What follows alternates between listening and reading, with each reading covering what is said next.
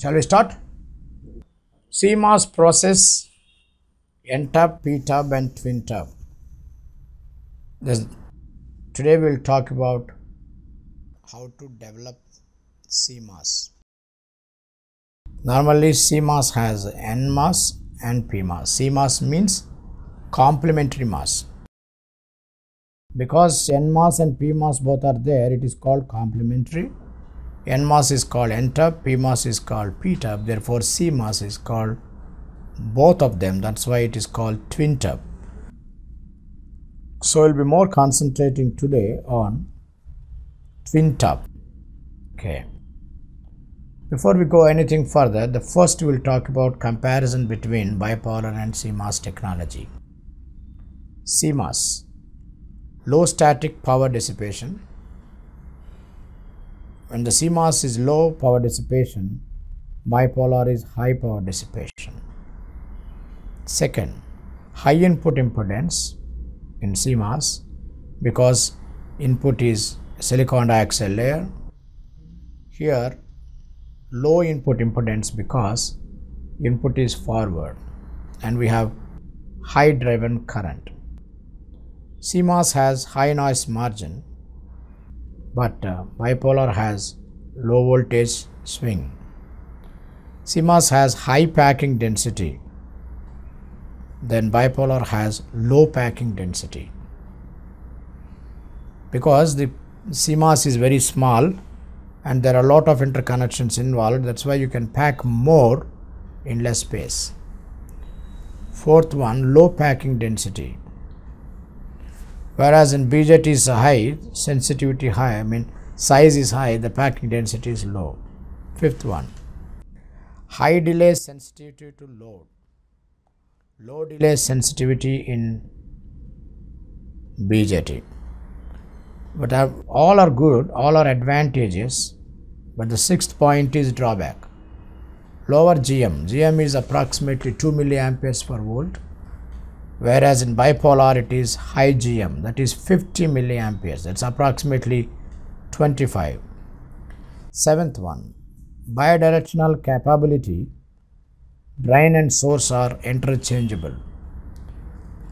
Because we can have two directional if there is no junction involved you can send that side this side. So indirectly current can flow in both the directions where a BJT has only one direction that is essentially unidirectional this is the basic comparison between CMOS and bipolar technologies in general as a switch CMOS is good, as an amplifier BJT is good. Then let's go to the fabrication of CMOS.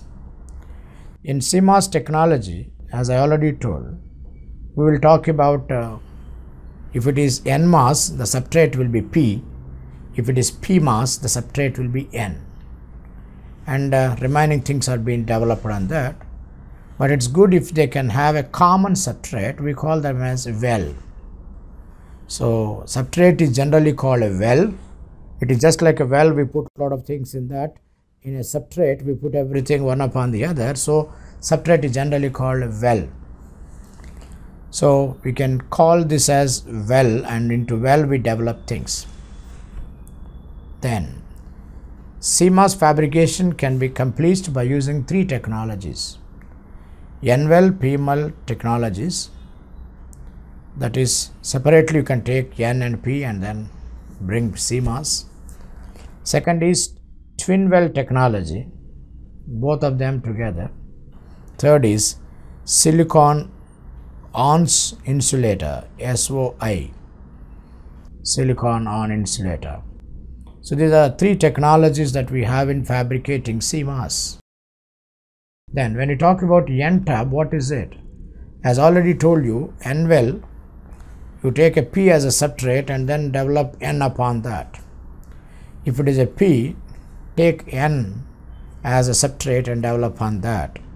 This is how we develop the N-well and N-tub or P-tub. What is the general process? First thing, create N-well regions and channel stop regions. Grow field oxide and gate oxide. That's called thin layer. Because once you develop a la- n layer, n wells, upon that we talk about small thin layer. Then upon that deposit and pattern polysilicon layers. Whatever the pattern you want, you deposit on that.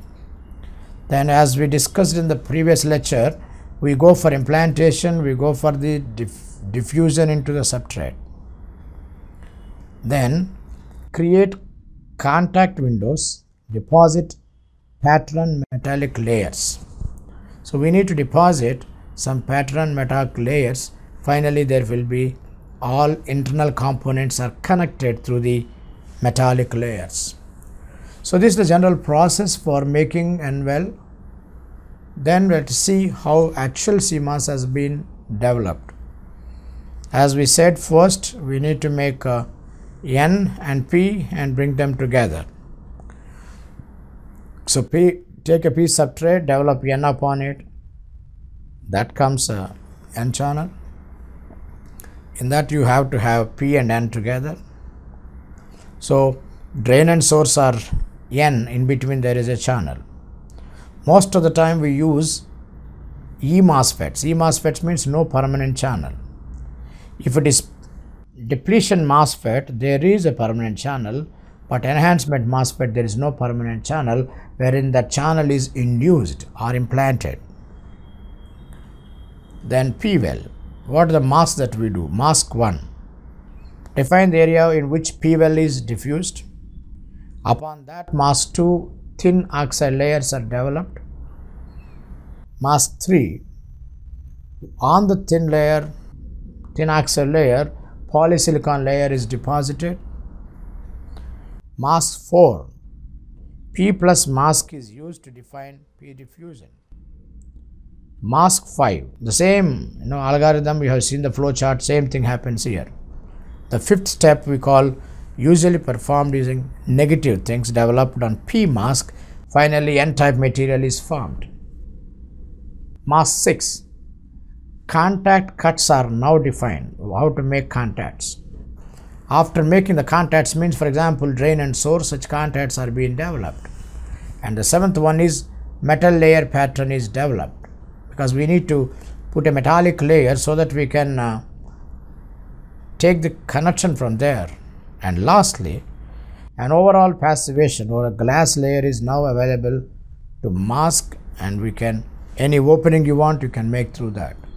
So this is a eight uh, pro steps process in making N well and P well masses. Then what is twin well? Twin well means a matter of combination of N and P.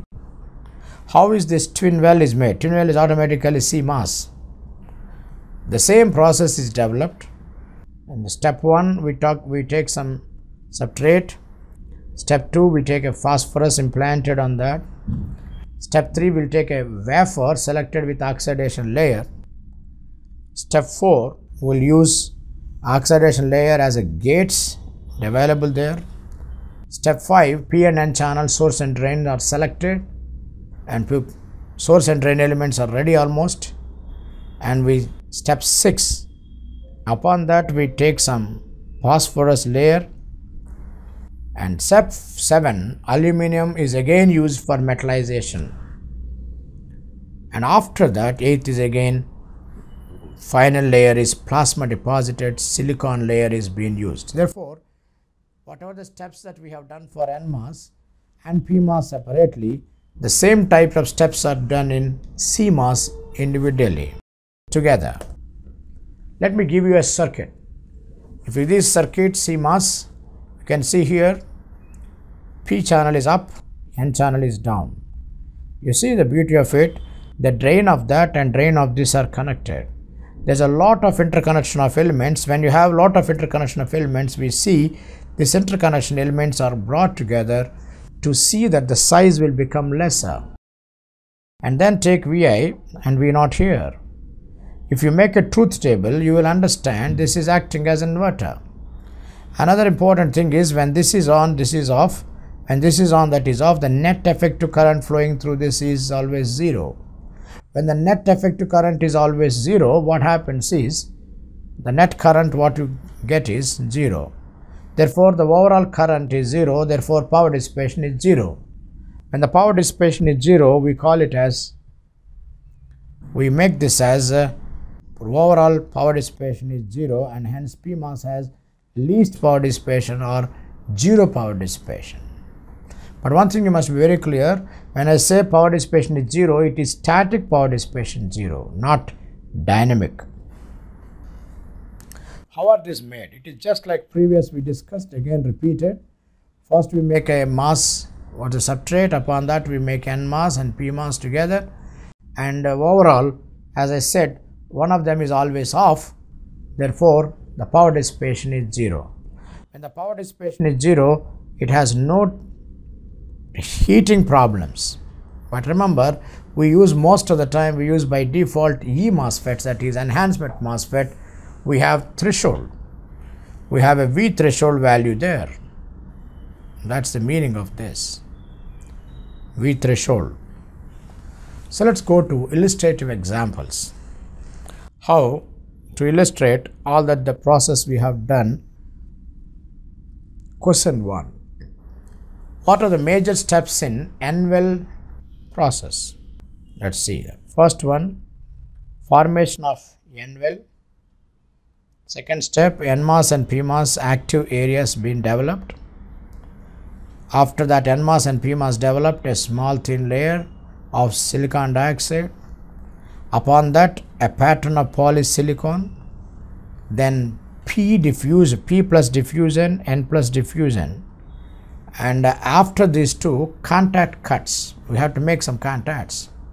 Upon the contacts ready, you will put metallization there and through the metallization we take our whatever the requirement required connections required. So this is all what I theoretically explained is now available in flowchart form. These are the steps involved. Problem 2. What are the problems in CMOS process? In CMOS, the first difficulty we have is latch up. Latch-up refers to a self-sustaining low impedance path between the applied voltage and the ground. Because when you say it is a channel between applied voltage to the ground, there is a problem. At times it may happen direct self-sustaining low impedance path. Second problem, trench isolation. It decouples bipolar transistors but also improves the isolation for NMOS transistors. So, trench isolation is a problem. Third one, control of threshold voltage for CMOS. For example, threshold voltage is a good thing for noise margin and noise effect, but if it is too high, that's not good. And that when you go for uh, two MOSFETs and uh, one will have a positive value, another will have a negative value, and that matching will be a problem and supply is a problem. So that's called control of threshold voltage for CMOS structure. Question number 3. Fabricate the inverter circuit using N-well CMOS process. Fabricate the inverter circuit. Whatever the circuit that you have seen, you have seen a circuit called a PMOS up and NMOS down that we have to process and fabricate. How? It is a step by step. First we will take substrate.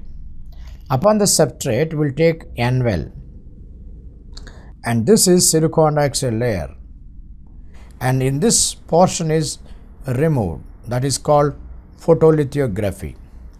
And after this silicon dioxide layer is cut and polysilicon material is developed. That's called thin oxide and then polysilicon. Thin oxide is SiO2 layer.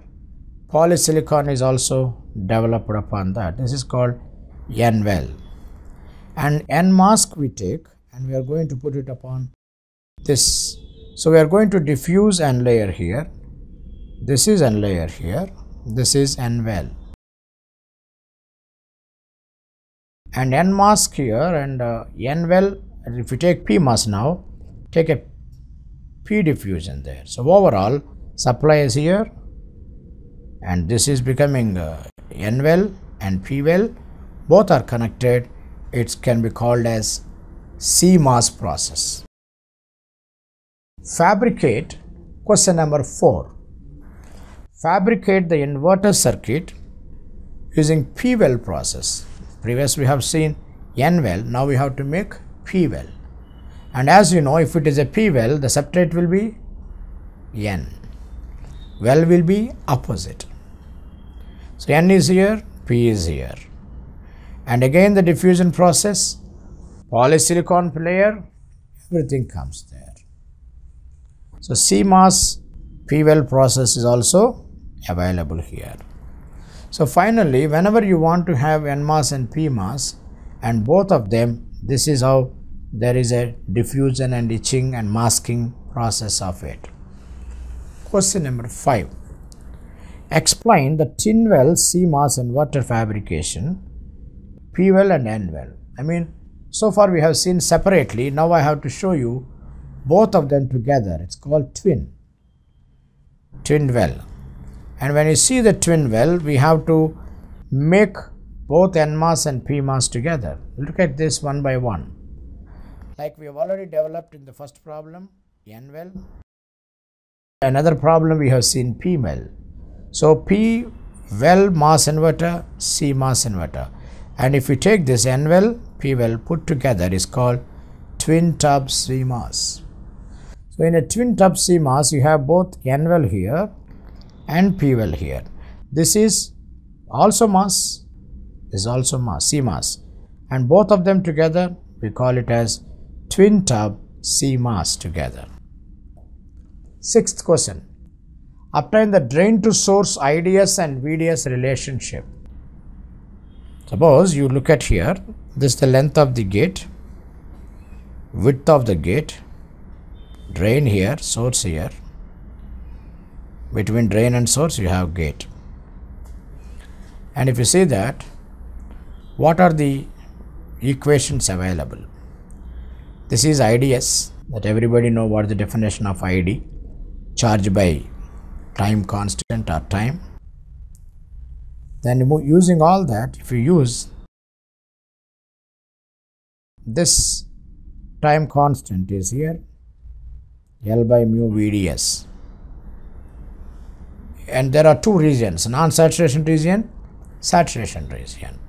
And one of the good things that we have is VGS is equal to VGS minus VT is effective voltage at the gate. And VT is threshold. So very standard definitions we have. IDS is equal to CG mu L by L square VGS minus VT VDS minus VDS by 2 and if you really substitute this equation at saturation VGS minus VT is VDS and this will become VDS square therefore if you subtract it till 2 will come here VGS minus VT whole square. So VGS minus VT whole square we supply from IDS here. Seventh one. Obtain the circuit symbols of P and N MOS in enhancement mode and depletion mode. Oh, that's a very old thing that we did in uh, FET's topic. These are the NMOS. Enhancement here, NMOS enhancement. All are enhancements, only depletion is thick line. This thick line is to say permanent channel. These are no permanent channel. But sometimes people use dotted line. So in NMOS, you can have a dotted line or a non-thick line because permanent channel is not there. In a depletion mass, you can have a thick line or a permanent line.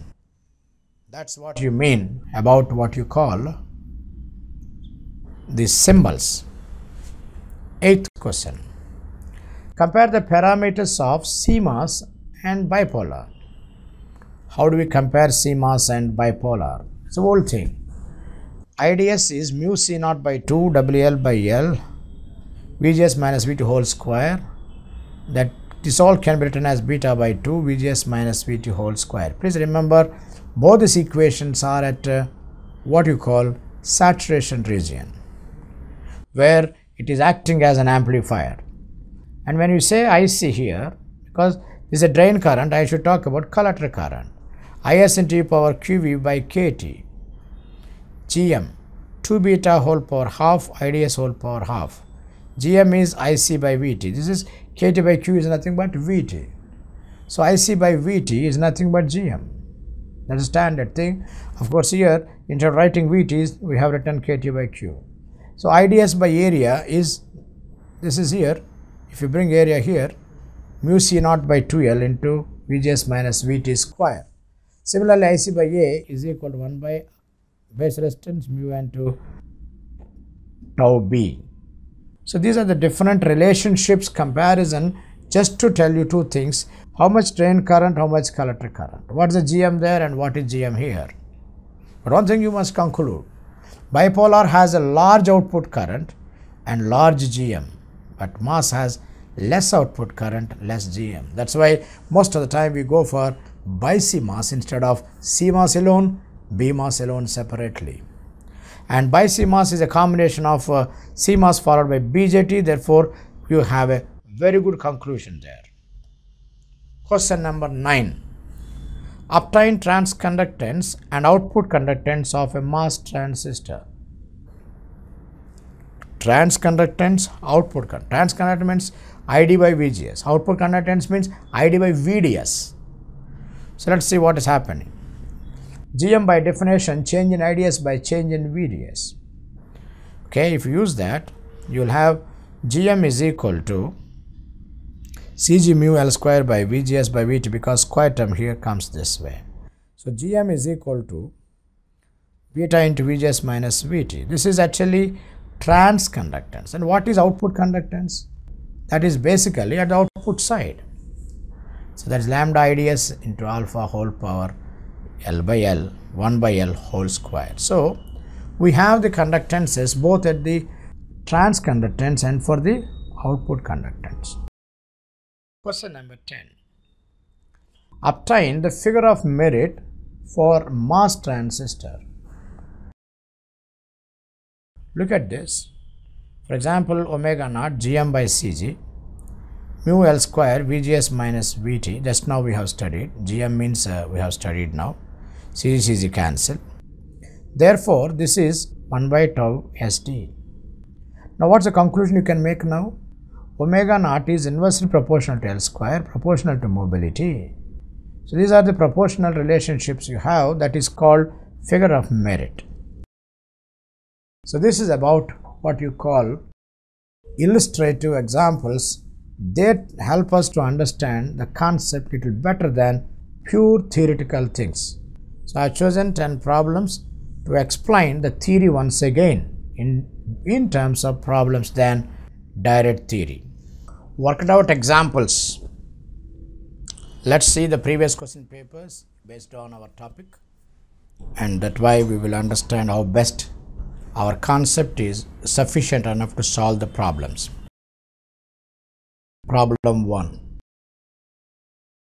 If P is passivation, Q is N-well implant, R is metallization, S is diffusion then what's the order in which they actually they are implemented in the CMOS process. We have already seen this question came in GATE 2003, LET ECE and 2 marks. We have already seen the procedure once and the flow chart another time. And this is the question based upon that if you really go back to that, this is the process, the standard N-well CMOS process steps are first we'll put N-well. That means upon that we put source and drain diffusion. Once the source and drain are ready, we do the metallization there. And upon the metallization, we go for the last step as passivation. Actually, there are eight steps we have take the, the question paper is only asking four. And if you put them together this is the order in which we go for CMOS technology. Therefore the option is B. B is the option for this technology. Question number two that gate oxide in a CMOS process gate oxide in a CMOS process is preferably grown using wet oxide, dry oxide, epitaxial deposition, ion implantation, implementation there. Gate 2013 EC1 mark. If you see CMOS fabrication process, gate oxide is grown using ion implantation. So when you go for ion implementation, because ion is nothing but a dioxide, ion is nothing but an insulator, dielectric material. So when you get ions, they are acting as oxidation layer. That's why the option is D. D is the option. Question number 3. Consider the following statement in connection with CMOS inverter. This is the CMOS inverter where both MOSFETs are enhancement type and both have threshold of 2 volts. So when you say threshold of 2 volts, how does they work? Because please remember, the down one is NMOS, upper one is PMOS. That's why PMOS and NMOS combined. It's called complementary MOS. T1 conducts when Vi greater than 2, natural. Because you are giving more than the threshold, it conducts. T is always in saturation when V naught is 0. See, when you say 0, when it says 0, it doesn't work on at all. When it doesn't become on, how, it, how is it true? So, only when it is on we can call it as saturation. If you see the explanation, when you give 2 volts, the N MOSFET is on.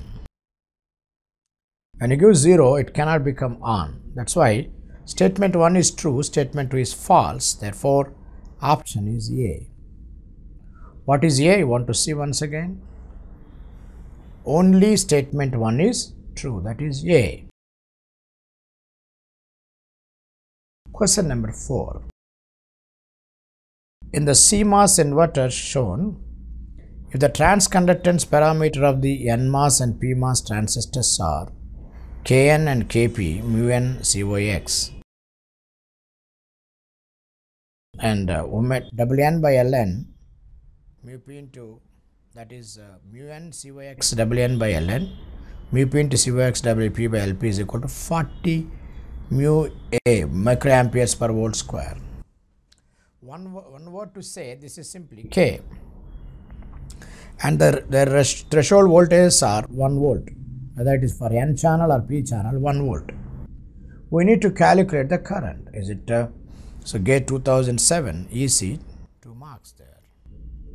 So look at here before we go to solution PMOS and NMOS 2.5 volts given where the threshold voltage is 1 therefore when you give 2.5 is more than the threshold this conducts.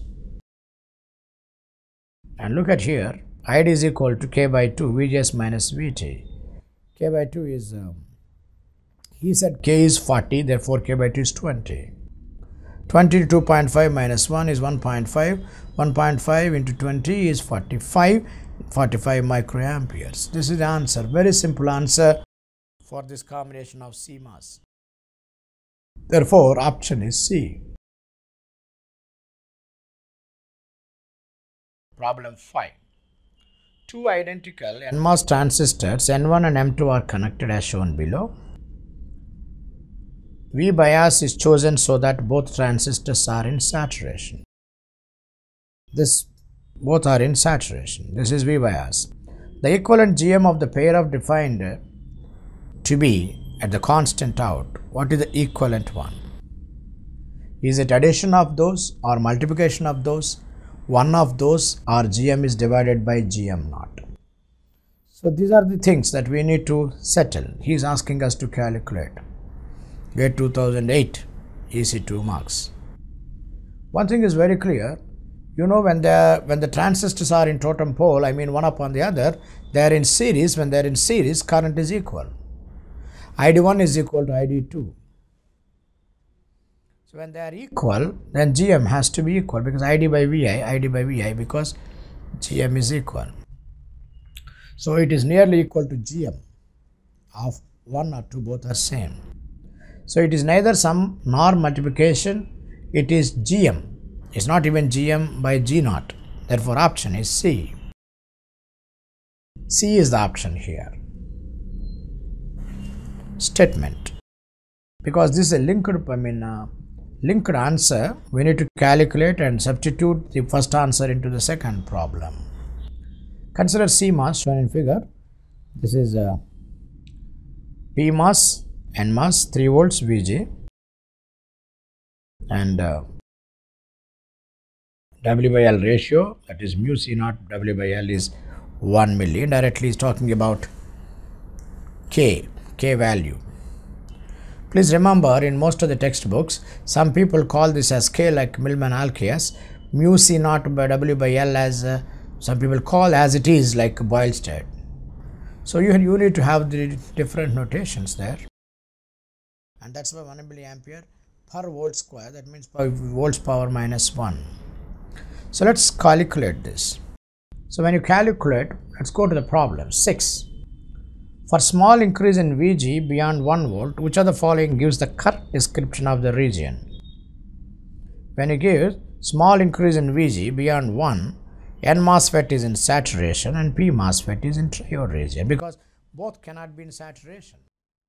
It's given in 2009. Look at here for small increase in VG beyond 1, n NMOS definitely goes to uh, what you call a saturation region, which is called amplifier region. And PMOS doesn't go to amplifier region, so because it's opposite, so it is a non-saturation region. And the non-saturation region we generally call triode region.